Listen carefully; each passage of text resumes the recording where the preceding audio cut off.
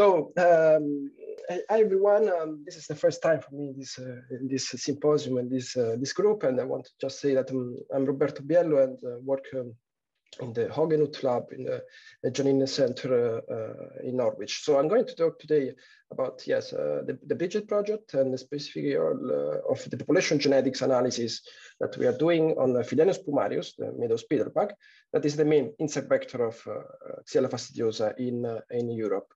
Um, sorry. Yes. So the uh, the BRIGIT project is a consortium for improving, enhancing the UK surveillance in response to the Xylella uh, that include uh, many different institutes across the, the, the, UK. So if you want to have a look at the at the project, uh, the project, uh, you can um, see the website for all the details. So the uh, the, the, the, main uh, goal of this part of the project um, I'm working on is the, to generate the genomics and transcriptomic data for Philaenus spumarius and also for the other potential insect vectors uh, of uh, Xylella fastidiosa in, in, the UK. There are, there are 18 uh, species uh, that can be vector of uh, this bacterium in uh, the UK.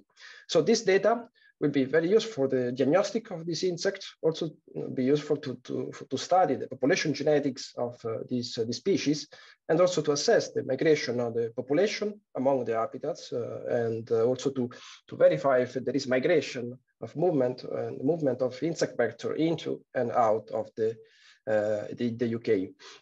So who is uh, Xylella fastidiosa? Xylella fastidiosa is, um, is a xylem inhabiting bacterium. It's a plant pathogen it's um, it can affect uh, uh, approximately 600 potential plants uh, plant species, and it can cause a different disease in, in these plants. Um, it's originally from America, but here in, uh, in Europe, it's, uh, it's invasive, and uh, it's already been detected in many different um, countries, as you can see from this map in, in Europe, but not yet in, in the UK. In Italy, especially in Italy, caused uh, an outbreak in a, a, big area of, uh, of Puglia in the south of Italy that they destroyed a uh, really big area of uh, olive trees uh, in this region.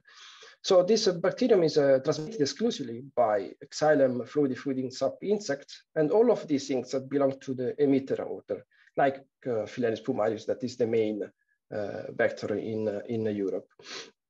So Philaenus spumarius, yes, Philaenus spumarius is a it's, uh, as I said, it's a Hemiptera species. It's extremely common species in the UK, as you can see from the map. You, it's always uh, almost everywhere in the UK, and also in uh, Europe. Roberto, let me come in. Your your slides aren't moving forward. Sorry, I just realised that. So can you? Oh, sorry. We can still see your first slide. So. Oh really? Oh, yeah, yeah. Oh. Sorry, I didn't realise that. Uh, uh... I can start again. The yeah. share the screen. I'm sorry about this. No, it's all right. Uh, can you see? It's coming. Now? It's black screen at the moment, so there's nothing there. Uh, hmm, let's see if I can. Uh,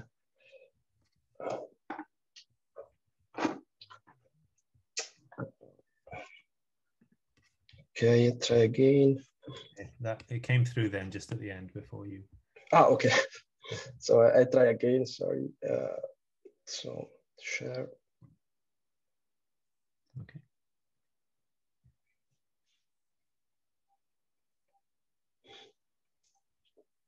Just let me know when. Yeah, sorry, we can see it. Yep, we can see the slide with the map of America and invasive in Europe? Oh, okay. Yes, this is Xylella fastidiosa. So yes, okay. I, I, I can't I can't keep going on uh, from, from this one from spumarius. Sorry again. Um, so yes, as I said, um, Philaenus spumarius is extremely common in, uh, uh, in the UK, as from, see from this map, it's almost uh, everywhere, and uh, also in the rest of Europe. It's an invasive species in some countries, like in the US and uh, New Zealand, and is, it's been identified on over 170 host plants, and also in different kind of habitats. So we can say that this species is true, it's a true generalist. Um, the larvae are also familiar because they produce this uh, spit here, we can see from this, this photo that it's uh, quite common to, to see in, uh, especially May and June uh, in, in, the, in the UK in the gardens. So that they're very easy to, it's very common to see. So this species also has been studied for other reason, also because it's extremely variability in colors, but we can see here that there is a very uh, high variability in dollar in colors in colors in, uh, in this in this uh, this insect, and also for the jumping performance that, that this species can uh, can have. Um, so the first step of the project was to generate the genome assembly of uh, spumarius, uh, and they use this assembly for as reference for the population genetics analysis. And we sequenced the, the genome from just one single insect from uh, Portugal, a population in Portugal. And we, we, we generated the assembly, we published this last year, and we say that uh, we can say that this assembly is complete because we, we can recover more than 90% of uh, orthologs gene mm, present in other arthropods uh, species. And also we confirm previous analysis that estimated the, the genome size of the species, and they found that was uh, the genome size was 2.7 gigabases. And then we can see that it's one of the largest genome uh, within the, the Hemiptera order. So um, the second step was to, uh, to collect in 2019, we collected uh, with our colleagues, we collected uh, Philaenus spumarius insect from uh, from different parts of the, UK. We collected from Scotland, from Yorkshire, Wales, uh, Sussex, and Norfolk, and also from a nursery in, uh, in, in, Kent. And for each of these locations, we, we selected the samples from different habitats. So for example, here in Norfolk, uh, we have samples from, diff from different meadows or from woodland, approximately in the same, the same area. So in total, we sequenced the, uh, the whole genome, uh, a low coverage of 116 uh, samples that we used for, we used for, for the population uh, analysis. But the first thing we did was to, um, with this data, it was to uh, analyze a specific gene, uh, a mitochondrial gene, the COI, COI gene. This is because they were already present, published from by Rodriguez et al. in 2014, many sequences of this, uh, this gene from different European populations. So we decided to combine our data from 116 samples and also uh, the data from, from Rodriguez et al. What we found, we, may, we generated this uh, phylogenetic tree, and we found, as uh, Rodriguez et al., that in, uh, in, uh, in Europe, there are at least three mitochondrial lineages. But the interesting thing is that these uh, lineages, uh, we found two lineages in, uh, in the UK populations. So we found that uh, the insect from Norfolk, Sussex, Kent, and Yorkshire, some, some samples from some Yorkshire, belong to the, this Western Mediterranean sublineage, that is the green one in the tree. And that's so, and while the, the samples from Scotland, Wales, most of the samples from Yorkshire belong to the Eastern lineage, but we didn't find any uh, insect belong to the Eastern Mediterranean sublineage, this, this red one here. So we have two different lineages in, um, in, uh, in the UK populations. When we have a look at the, at the map from Rodriguez et al., we see better the distribution of these three lineages in, uh, in, uh, in the Europe. So we, uh, I call here by the color, and we say that the, the, the, the blue, the blue lineage that we found in Scotland, uh, Yorkshire, and Wales is typical of North Europe and also Turkey, especially some mountains in Turkey. Uh, so they probably prefer that or they adapted to colder uh, climates. So the other one is the green one that we found in south, southeast of England, that it's typical of West and Central Europe. And we see that it's, it's typical of Portugal and Spain and France. And then we have the the last one, the red one, we didn't find any in, uh, in the UK, but it's typical of uh, Greece, Italy, and some region in, in Spain. So probably they are more adapted to the, uh, the war, uh, warmer, warmer climates. But when we analyzed the whole genome data from, from, from our 116 samples, we found, find something, found something bit different because we didn't see any more two just two distinct lineages, but we have more a geographical pattern among the six localities uh, in, in the UK. So we have this principal component analysis. We have every dot is a sample, and then uh, we can see clearly that this, the samples from the same location that tend to cluster together. So there is a, a, genetic structure based on the geography. and we just in this, the case of Sussex and Kent population that they're quite similar, but because they're quite also close uh, geographically. And when we analyzed, the, we tried to, um, to estimate the genetic differentiation among this population to see if how much they're different.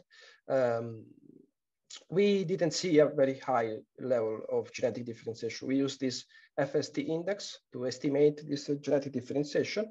And when we pick the most distant population uh, and also the, the most diverse populations here in Scotland and uh, Sussex, we didn't see uh, very high level of genetic differentiation. So this, this means that these two lineages are not uh, isolated. There probably there is a continuum in the UK of migration, gene flow among the population. So it's not there are not many isolated population. Probably it's just a continuum of the distribution of the, this uh, this insect. So we can summarize that we have two different mitochondrial lineages in, in, the UK, the blue uh, in the north and, uh, and, west, and also we have the green ones in the, the south, the southeast of England. So these two lineages seem that they are admixed now, so probably they, they are not isolated anymore. So you can see there are not so much differences. And also we say that, that we are able, uh, even if there is a, a low genetic differentiation, we see that these uh, populations are separated based on the geographical location. And the last thing that we didn't see any uh, insect uh, that belonged to the red lineage that is common in other in southern uh, Europe. So the future work, we already collected the sequence in 2020, approximately 200 uh, samples with our collaborators, and we sequenced uh, uh, areas that we didn't have in the first uh, the first analysis. So we sequenced already other region of UK, in UK, like gardens or nursery, also areas that we didn't see, we didn't sample before. And also we sequenced the, the insect from uh, where region from region where Xylella fastidiosa was detected, like Italy, uh, France, Spain, and, uh, and the Corsica. And also we have uh, samples from from region where the, the blue, the eastern mitochondrial lineage is, uh, present, like uh, Finland and Turkey. And finally, we uh, sequence also samples that from this little area in North Italy, where we, we know that in the same area, there are all the three mitochondrial lineages, so present in the same area. So it's be interesting to see if they admix, if they, if they, uh, they are different. So if finally, to help with, uh, with the analysis, we also generated a new uh, assembly of Spumarius, will be the version two. And this is a chromosome level assembly because we were able to, uh, with different uh, kind of sequencing, we were able to uh, recover the chromosomes uh, of this, uh, this species. So we, we recover from this map, you can see that each, each square, each blue square is a, a super scaffold for our, our, assembly. And we see that um, most of our assembly correspond to the 12 chromosomes that are the N karyotype of uh, Philaenus spumarius. So this is will be a very useful resource for the other for the further uh, future population analysis, also to study the evolution of this species in the other, other vectors. Uh, finally, I want to thank all the people that are working on this project and helping me with this, uh, with this, this uh, huge work. And uh, I want to thank you for listening.